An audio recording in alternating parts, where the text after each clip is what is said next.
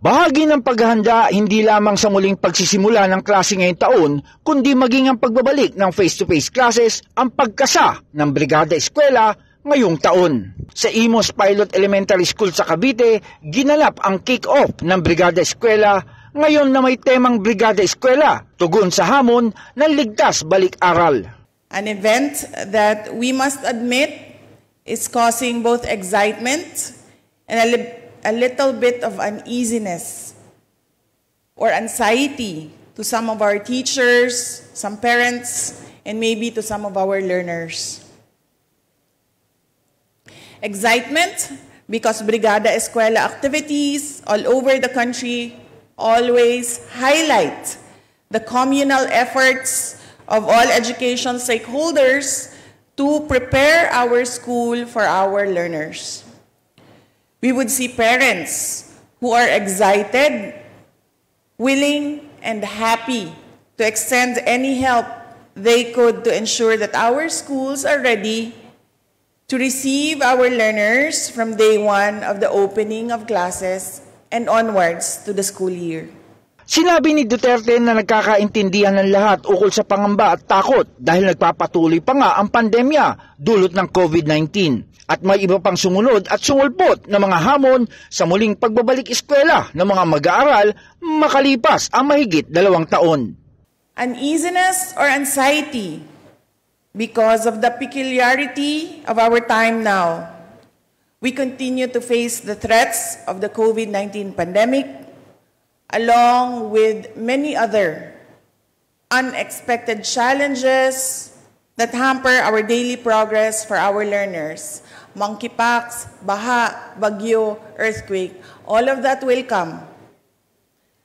What is important is that we have the determination to succeed in our mission. Muli magsisimula ang mga klase sa basic education sa darating na Agosto 22 at bilin ni Duterte may ilang araw pa para lubusin ang paghahanda upang matiyak ang kaligtasan ng mga mag-aaral at tauhan ng eskwelahan. Partikular pa niya ipinanawagan ay ang pagpapabakuna na ng mga teaching and non-teaching personnel na nagdududa pa rin sa COVID-19 vaccine. We are all set to open our schools all over the country 22 days from now. To address the valid concerns over COVID-19 transmission, we have laid down measures that will serve as our guide to prevent our children from contracting the virus. As I continually to call on our teaching and non-teaching unvaccinated Department of Education personnel to go to counseling and consider, reconsider your decision about vaccination. Taon-taon na niya ay nagsisimula ang mga klase, ngunit taon-taon din ay maraming kalamidad at hamon ang inaharap ng kagawaran, mga magulang at mga mag-aaral. Anya, mistulang nasa kumunoy ang DepEd na habang kumikilos para magligtas o magayos ay tila lalo pa itong lumulubog dahil sa mga dumadating na issue at problema.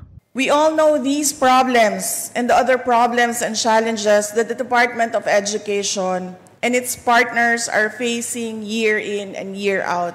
As mentioned by ASEC Bringas, we were in a meeting last week and I was telling our USEX and ASECs that we are in a quicksand.